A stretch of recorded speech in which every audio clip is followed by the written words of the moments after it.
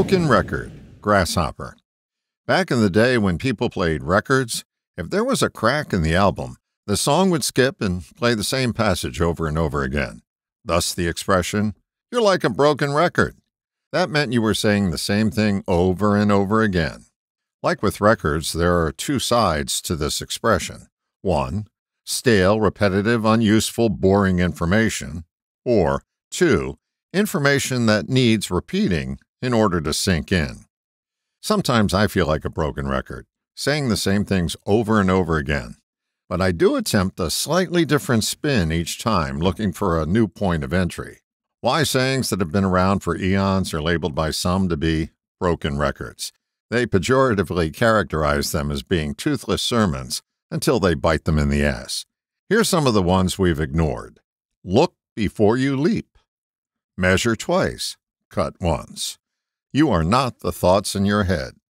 The last one is my broken record, my skipping CD, my intermittent streaming audio. The minute that you finally get that message will be the turning point in your life. When you discover that you're not the thoughts in your head, you free yourself from the insane asylum. Your thoughts attempt to convince you that they are you 24 7. That broken record is one you want to skip out on. As I'm fond of saying, your mind has a mind of its own. It's separate and apart from you. It's a tape recording that plays the same songs over and over again. Defining yourself as the voice in your head is like defining an airplane by the vapor trail it leaves in the sky. The key to getting past the repetitive skip is to notice that you're skipping. Notice the thoughts in your head as an outside observer because that's who you really are the observer of your thoughts. When you observe the thoughts in your head, they start to metabolize and melt away.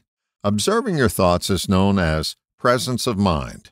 Have the presence of mind to know that you're an outside observer, not the part of you that's filled with antagonizing fervor. If you're tired of the same playlist, it's time to observe your skips.